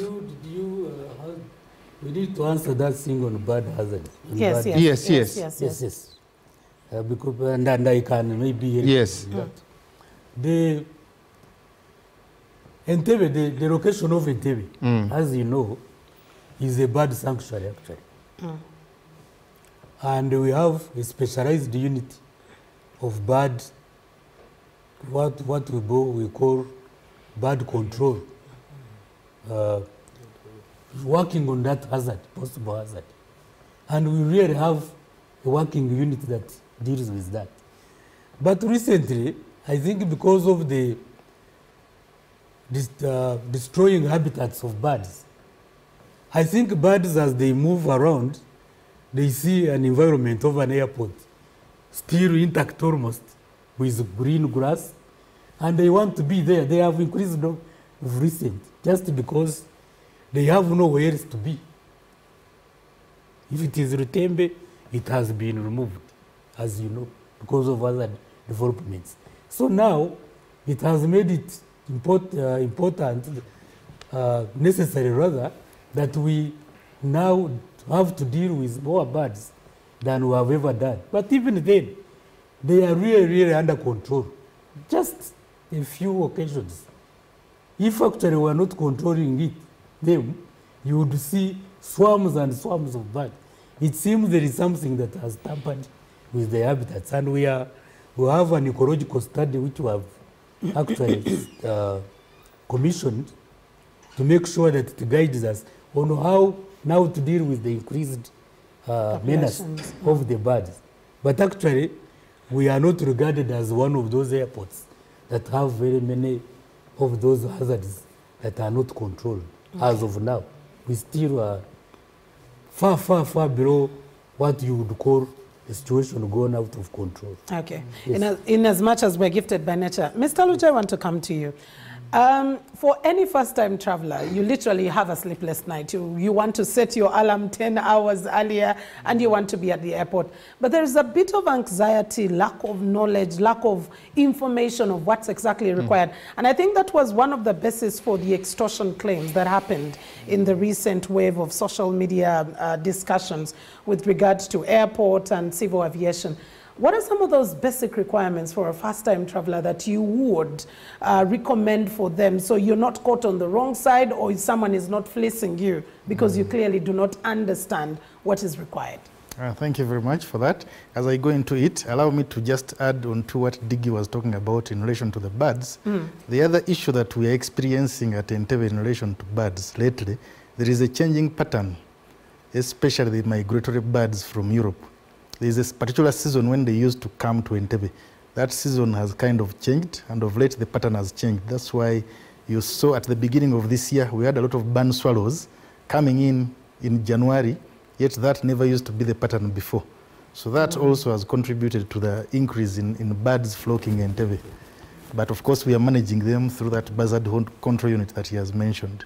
Moving back straight to the basic requirements for a passenger traveling through Entebbe International Airport, which is key for especially the first-time traveler. One, we require that first you have a passport that is valid, that has not expired. On top of that, check the destination country where you're going to, whether it requires a visa or not. If you're, for instance, traveling in the region, you will not need a visa. But if the country you're going to requires a visa, get it first. Two, purchase a ticket, which you can have printed or online. But we encourage a return ticket for various reasons, because there are circumstances under which a passenger may be allowed to, to travel on a one-way ticket. So if you are using a one-way ticket, you need to fulfill the requirements for a one-way ticket. For instance, a passenger who is going to a country where they have evidence of residence, resident permit, that can use a one-way ticket. Or if you're a student going to a country and you have a student pass, you can use a one-way ticket. So those circumstances for one-way ticket are there. But if you don't fulfill them, you are required to have a return ticket. Why? Because there is this vice of human trafficking that we have at Entebbe International Airport. And because of that vice, we have noticed that human traffickers normally give their victims one-way ticket to the destination. They also give them another one-way ticket, bringing them back from that destination. What happens that the moment this trafficked victim reaches the destination, this trafficker cancels the other one-way ticket, bringing them back. And most of the cases that we have registered at Entebbe of human trafficking, they have that history and background. So mm. because of that security consideration, it is pertinent that a person has a return ticket, and that's why we emphasize it. Now, having had a return ticket, you also need to look at the requirements of the destination country that you are going to. For instance, some countries will require a yellow fever vaccination card. For instance, if you're going to South Africa or China or Tanzania. But not all countries require yellow fever vaccination. So if the country you're going to does not require yellow fever vaccination, we do not enforce it at Entebbe, and that is one of the measures that we have harmonized that the DG was talking about earlier on. Mm. Two, also still check with your airline. As part of the requirements for the destination, a few countries have maintained restrictions of COVID 19, just a few. Some may ask you to have a, a vaccination card or COVID 19 PCR test, but as I speak now, those are very few countries. So if the destination does not require that, we removed that requirement at Entebbe, you do not have to have that. Even when you're coming back into the country, all passengers returning to Uganda do not need to have a COVID 19 PCR certificate or vaccination. That was removed in harmonization with the Ministry of Health, and it is one of the areas that have enhanced the passenger experience as we speak now. Now, those are the basic requirements for a passenger. But we have another category of passengers which we refer to as migrant, wor- migrant workers. Mm. These are our sisters and others going to countries, especially in the Middle East, for employment.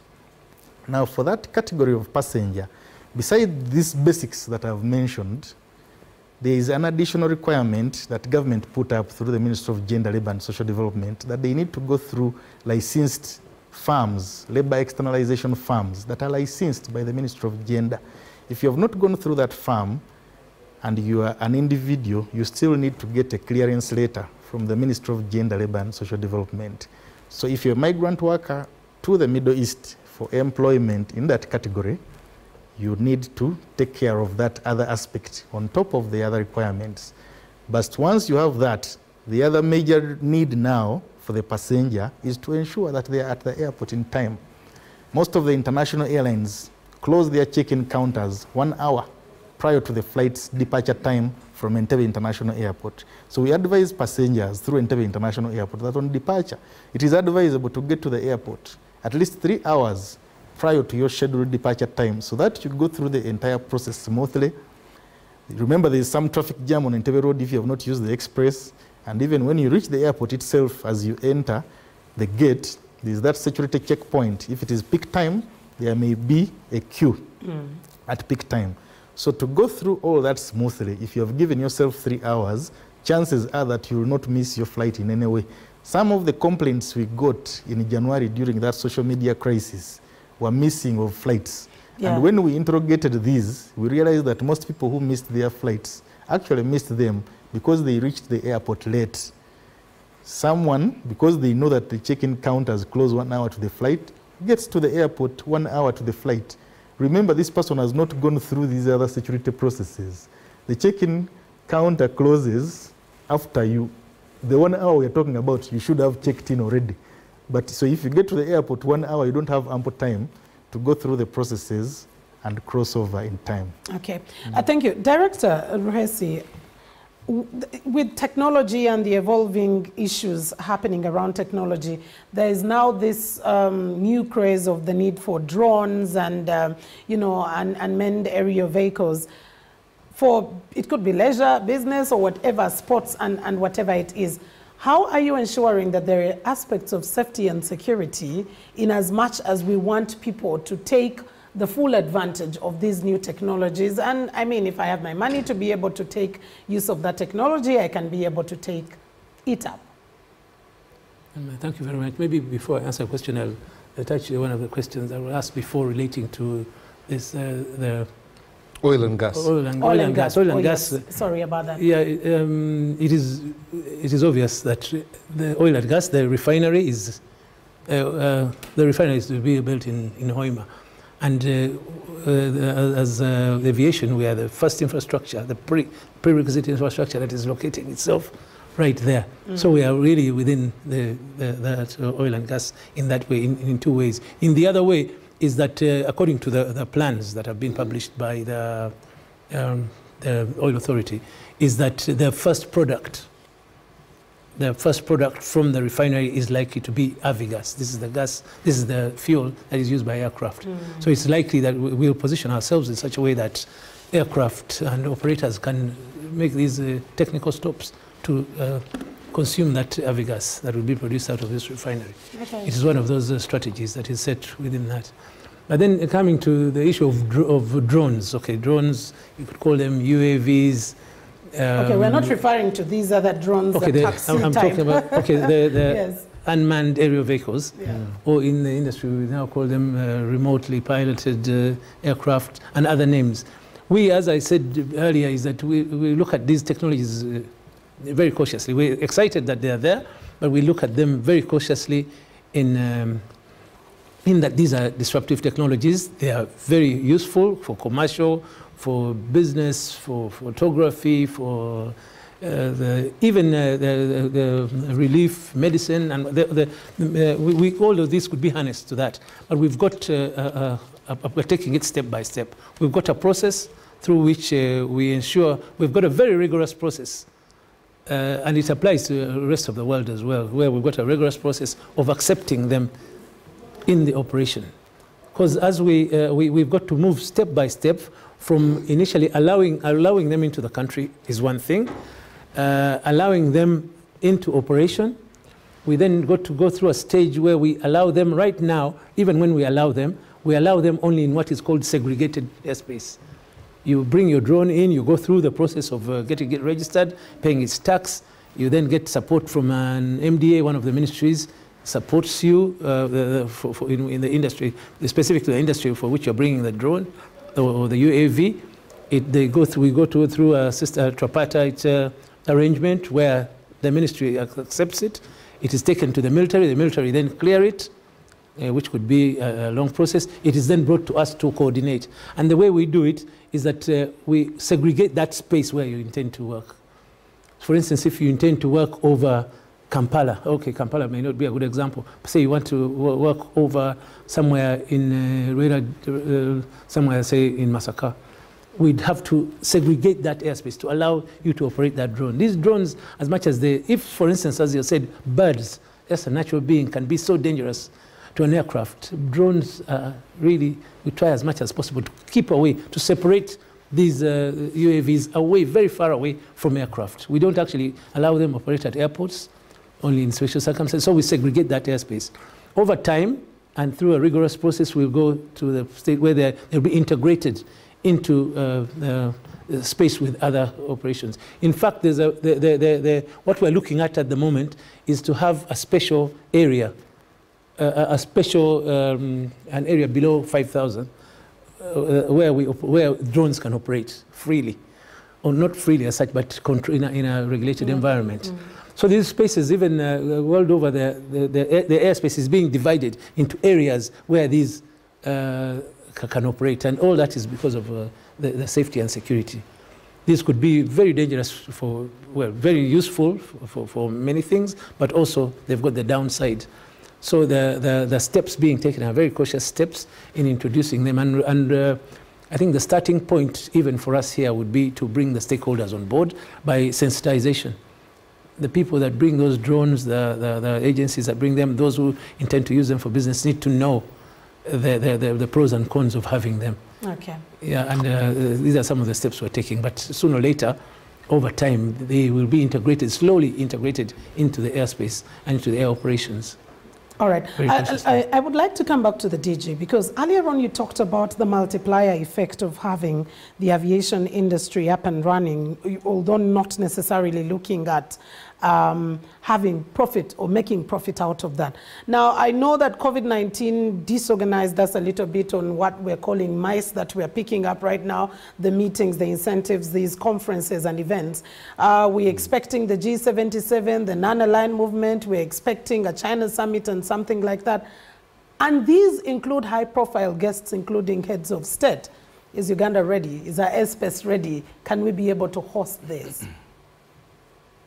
Thank you very much uh, again for asking that question. As in, uh, my colleague Grace has been talking, the airspace is no question, is very, very ready. The airspace. Now, what we are talking about probably are ground facilities at the airport.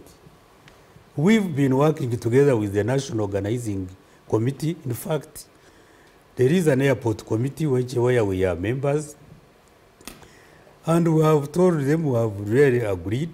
I think we have also even been inspected, and uh, the facilities that we have are enough. But also, you know that we are working on facilities like those expansion projects, Mm. uh, arrival and departure. That one we, we expect it to be completed, and it will come in handy to handle those big numbers. You know, we hosted CHOGM. Yes. This is bigger than CHOGM, right? But those facilities are still there. The other question has been the parking of aircrafts. Right now, we have measured and again measured with stakeholders, uh, security, other organizers, and we have found that we can park at least 76 aircrafts At a go. at a go, at one go. Mark you, the, those can't even be there because they will come, many of them come while going back like that. That is there. The, the other aspect of it was, of course, uh, how to work collaboratively with other organizers and make sure that we receive people in two areas. The VVIP, you know, VVIP is a separate terminal. Yeah. And that really is enough for the heads of state that will be here and other dignitaries. And that is, has been earmarked as an area for receiving all dignitaries that will be coming there. Some of the groups that come with them, either before or after, will be received like other normal passengers. Because the majority of people who attend up to now will, of course, come with these normal, these normal scheduled airlines. And those ones we shall be receiving them like other visitors, but also with the help of the people in the ministries of foreign affairs, uh, internal affairs, those who comprise that committee. So we are extremely ready, and with the opening of that in, at the end of August, that uh, expansion will really be more than ready to receive those. Uh, the other aspect was the parking, I think, for VIPs, the vehicles that will be coming to pick VIPs. Again, we have started on modernizing the site. The site is there, but we want to make it modernized. And together with UPDF, Engineers Brigade, we are really almost uh, done, and we are going to start working on it in the coming few weeks. Mm. Yes, so if you say, are you ready? Yes. You're more than ready. As a country, we are ready. As an airport, we are ready. And, and, and Mr. Luggya, that's why I also bring in the, uh, we've had so many expos, and one that is coming up soon, which is directly linked to you, uh, this sector is the Aviation Expo, or the air show that is coming through. What is this about? What do we intend to achieve out of this expo? A country like Uganda, which we've always referred to as the Pearl of Africa, not us, but uh, the persons who refer to it as such. Uh, thank you very much, Mildred. And before I get into the expo, permit me to continue from where the dig is stopped Mm. in relation to these facilities that are being put up. You remember he mentioned the terminal extension that is going to be ready ahead of this hosting of the G77 summit. But we ha also have another terminal building that is currently under construction by the China Communications Construction Company. That terminal building is expected to be completed. It's a completely new terminal connecting to the current terminal. It will be completed by July 2024. And when you add all the capacity together, currently the terminal capacity we have is 2 million passengers a year maximum.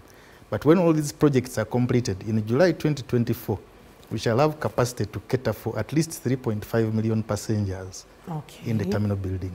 Now, moving back to the Aviation Expo, which is scheduled for June 22nd to 24th, 2022 at Entebbe International Airport, it has a major highlight, which is the air show, that provides an opportunity to especially those who have never flown to have a chance to fly for the first time. There will be a minimum entry fee of 50,000 per person entering the Aviation Expo area because there are lots of activities that are going to happen. Mhm. For instance, we have lots of stakeholders that have joined us, including uh, this expo is organized by the Uganda Professional Pilots Association with support from UCAA and other stakeholders. Among those stakeholders supporting us is the UPDF, which will provide flights information. You know that exciting thing that they usually do at major functions. Mm. They will do that. Uganda Police Air Wing is on board, and they will also do exciting things in the air for all those that are coming for the expo to see. The people in the expo will have an opportunity to enter static aircraft. There will be static aircraft displays. Oh. I actually thought you were going to fly us for 50,000 shillings. No, we were going to bring the entire village. no, no, no. The flying cost uh, is also there. I'm Okay. coming to it.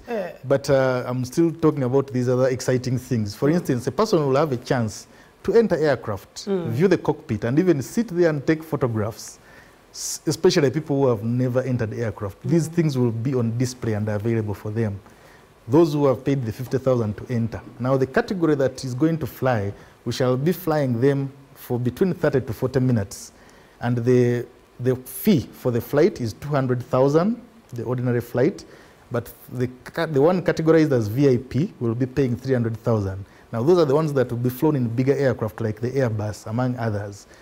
300,000 and you fly for 30 minutes, 30 to 40 minutes within Ugandan airspace and back to Entebbe. Normally, Kampala is a no-fly zone, but because of this air show, we have already secured special permission from the authorities to fly over Kampala.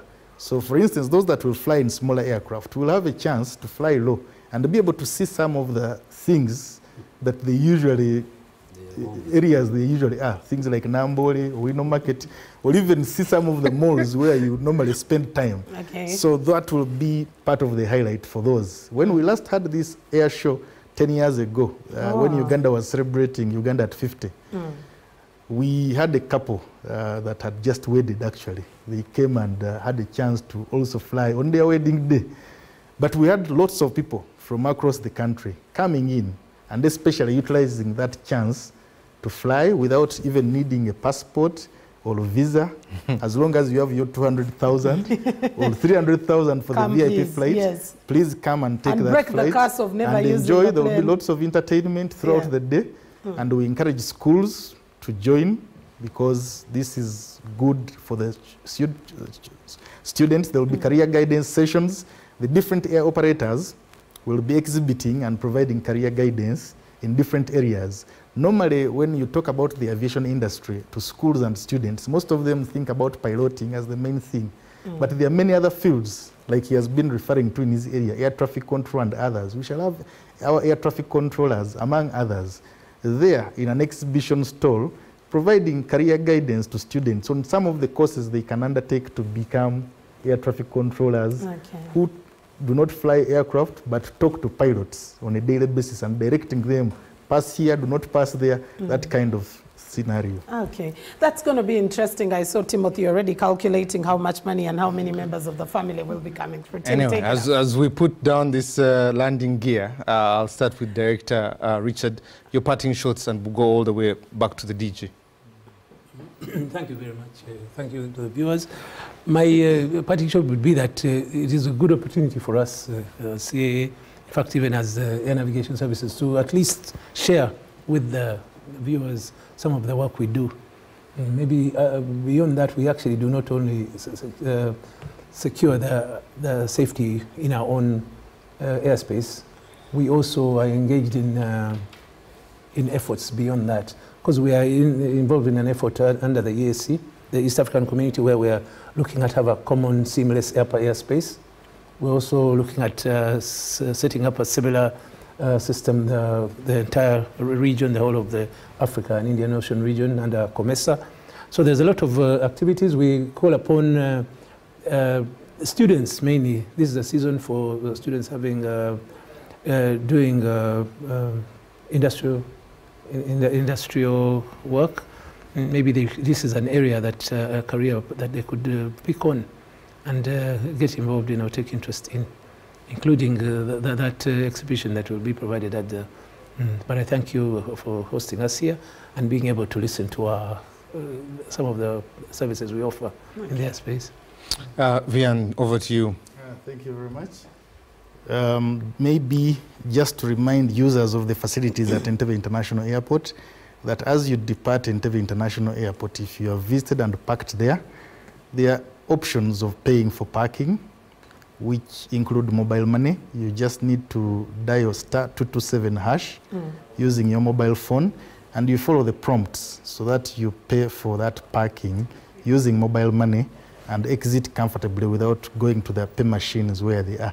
Otherwise, I thank NBS and UBC. However, some very think the much. parking fees are exorbitant. And I've just come for a pickup. You could probably offer and say first 40 minutes free, and then uh, the rest you can start paying per hour. No, they are, they are not. Uh, they are not exorbitant at all, because if you look at the fee, the starting rate is 2,000 for the Mm. first 30 minutes. If you compare the cost of parking in Kampala at some of the malls, for instance, it's not any different. But we are talking about an international airport here. That rate, you if you compare it with uh, with the parking rates at other airports in the region, Okay. it is definitely quite competitive. But thank you very much for the opportunity to explain to Ugandans. Lastly, the Director General. Thank you very much, uh, Mildred and uh, your colleague, and thank you all of you, all of you viewers. It is yet a very, very good opportunity to come here and explain to the real uh, owners of these aviation facilities, the Ugandans, what is going on in our aviation industry. And it is always good that we are here. But I would like really, really to encourage Ugandans to make to know that aviation is there for all of you.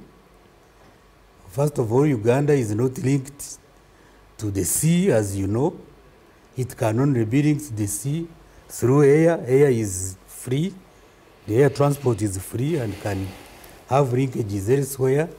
And we need to come up and use our aviation facilities much more than we have so far done because they will enable us to have very seamless uh, transport means to reach the sea like other countries, to, to interconnect between countries and make sure that we ease our transport system. But we want also to inform the general public that we are determined, very, very determined, to make especially our aviation facilities, especially Entebbe, to be a hub and to look to be competitive like any other uh, uh, airport in the world. But we shall continue to be cautious and move with the level of uh, uh, activity that is expected in the in the airport and not just come up to build things that will eventually be white elephants. We shall move slowly, but we shall surely reach there. And we want to encourage Ugandans to be available to use their facility, both in cargo and as passengers, to make sure that our industry grows. Luckily enough, we're now having a hubbing airline, Uganda Airlines. And I want to encourage ourselves to as much as possible use Uganda Airlines and try to make it expand. When it expands, it also expands the home uh, airport, which is in Entebbe, and we shall sooner than later have enough airport users in form of passengers to make sure that our airport is fully utilized and our aviation facilities are used by the owners, the Ugandans, as we expand our industry for the future. Thank you very much. And I want once again to thank you for listening to us and, and, and, our, t- and the, the team uh, of colleagues who are here. Thank you very much. And uh, we're really grateful that you came through to be able to listen to some of the things here. Gentlemen, thank you so much for coming through. Uh, this was more of uh, teaching the people of what we're doing and Yeah. also credit to you for really championing safety and security. Now we need to get the economics of it there. But uh, from the dynamic duo of Mildred and myself, on myself, I really appreciate everything you have had here and also the interaction that has been on social media with both of us here. We haven't been able to read some of those. There was just too much feedback there. But from me, Timothy, thank you very much and God bless you. And yes, uh, thank you very much to NBS TV and UBC TV Inspiring Uganda for making sure that this comes to pass. Let's continue uh, with this conversation on social media because that is the kind of space that we're in. And probably prepare your 200,000, 300,000 to be able to fly for just a few minutes. For those of you who've never had this experience with an entrance fee of just 50,000. From myself, Mildred Tuhaise and Timothy, we want to say good morning because it's already uh, midnight and see you in a few on the Morning Breeze.